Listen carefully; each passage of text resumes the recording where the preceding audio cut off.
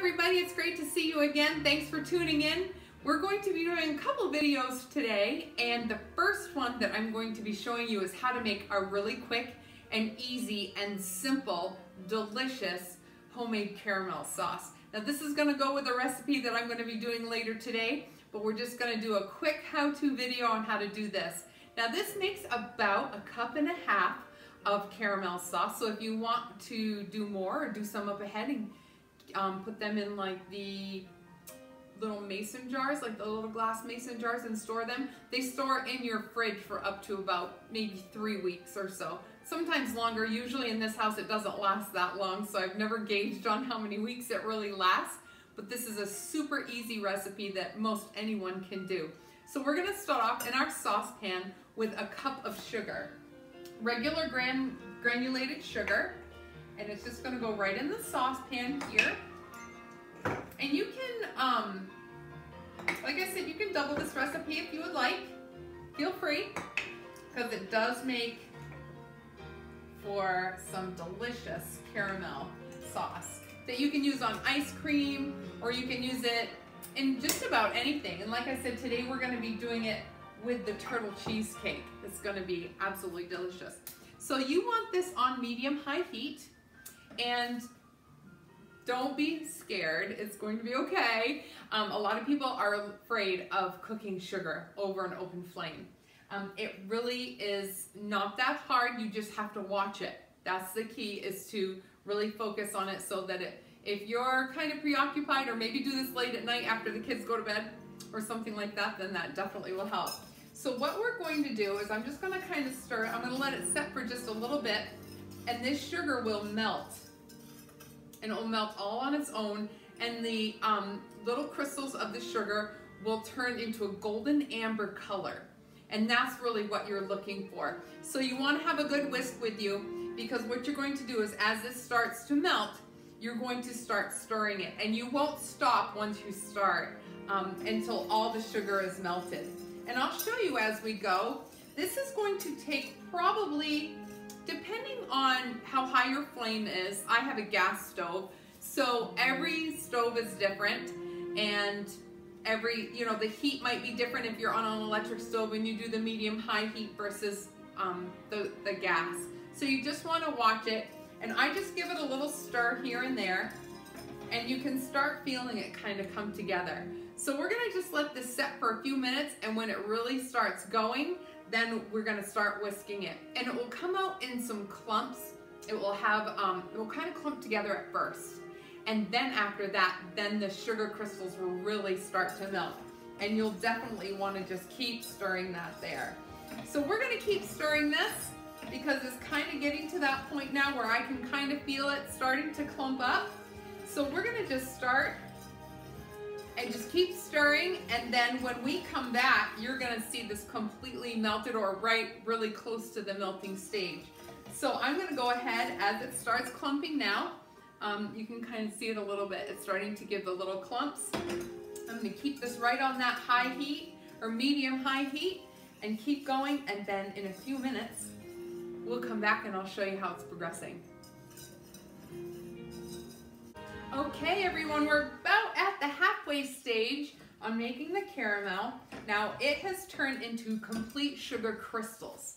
As you can see, you've got a lot of the hard crystals in here. Don't be afraid, that's exactly what you want because now that it has formed those crystals, this is when the stirring begins, okay? So you wanna just take your whisk and you're just gonna keep this going evenly and it's gonna start melting on you now and all of those crystals are going to just melt away.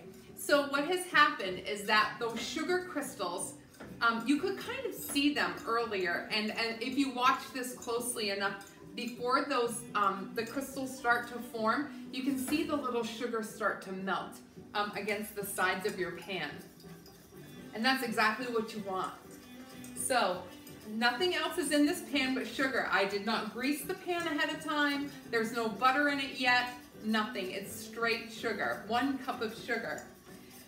So now that those crystals are starting to melt, we're just going to keep stirring. Now you see that some of them are on my whisk here. So as this melts and it gets a little bit hotter, if you want to bring it up, you can just kind of tap that to get those crystals away. Not all of them may fall off the whisk and that's okay. You just want to keep going with that, okay? Looks like maple syrup. That's the color that you want, okay?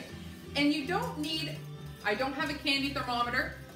Um, I don't own a candy thermometer. You would think that I would have a candy thermometer, but I don't. My grandmother used to teach me this trick when doing um, different types of caramel and sugars is to test it in a cup of cold water and to drip it and it would recrystallize.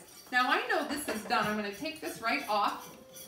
And now to that, I'm going to add six tablespoons of butter.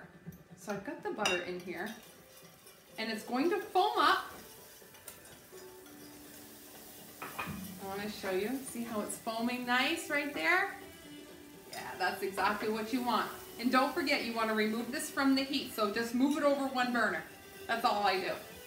And you wanna whisk this really good. This is where you wanna start stirring. This is where your arms are gonna get a workout.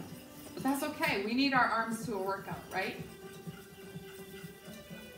Now you're gonna really start to see the rich color of the butter absorb into that sugar and it's gonna really start looking like the caramel now.